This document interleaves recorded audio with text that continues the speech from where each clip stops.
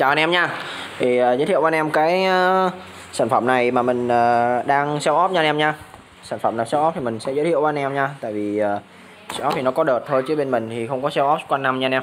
Thì đây là cái uh, học đựng đồ hay gần gọi là học yên hay một số anh em gọi là học đồ nghề ha Của cái uh, dòng uh, quay 110 Thái và quay alpha Future 110 nha đều gắn được hết. Này nó rất là ok hàng mới 100% nha đó. Thì nếu mà những anh em nào mà chúng ta biết á, thì cái ờ, con ờ, quen pha nè là nó sẽ không có cái viền cao su này nha. Nó không có viền cao su này. Yên nó chả có viền này đâu chả có viền cao su này đâu. Đấy thì còn những con như Future 1 với lại uh, trăm 110 thái thì nó có nha anh em cái ờ, cao su này á, thì thực chất nó cũng không đẹp hơn hay là gì hết anh em nhưng mà nó cái công dụng của nó thì rất là ok đó là nó khi mà anh em đậy xuống á, là cái nắp này cái cao su này này nó sẽ chặn được cái đường nước nó bắn vào nha đó và cũng như là nó chặn kín được luôn cái học à, yên này để khiến cho đồ nó không có bay ra ngoài. Nhiều anh em chúng ta để tiền ở trong này ha. Thì nếu mà không có cái cao su này không có cái viền cao su này, này là nó sẽ anh em thấy nó hở một khoảng ra ha. Nó hở một khoảng ra như vậy thì khi mà anh em sập ổ gà hay gì á là tiền nó sẽ bay ra ngoài rớt rớt mất được cho anh em nha. Còn uh, hay là giấy tờ. Còn mấy cái này thì nó có cái cao su chấn lại thì nó sẽ bao cho anh em là không có rớt đồ lung tung nha anh em nha. Đó.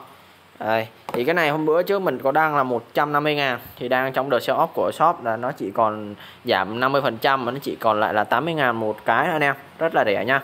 Hàng jean chính hãng nha. Đó hàng jean chính hãng nha. Chưa sử dụng nha anh em nha. Cái này thì được cái nó chưa sử dụng cho nên là nó còn rất là đẹp nha. Còn những cái mà sử dụng nhiều anh em là người ta hay bị bể.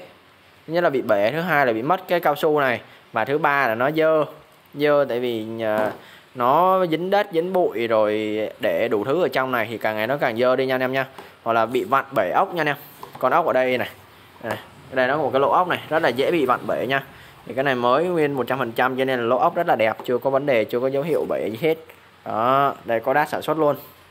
Thì anh em nào có nhu cầu mua cái hộp yên này có thể liên hệ mình nha. Giá 80 ngàn một cái rất là rẻ. Đó, rất là đẹp luôn em.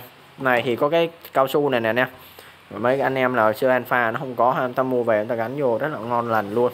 Đó, thì anh em mà có nhu cầu có thể liên hệ mình nha, số điện thoại 0915 434 973 anh em nha. Cảm ơn em rất là nhiều. Hẹn anh em những clip tiếp theo nha.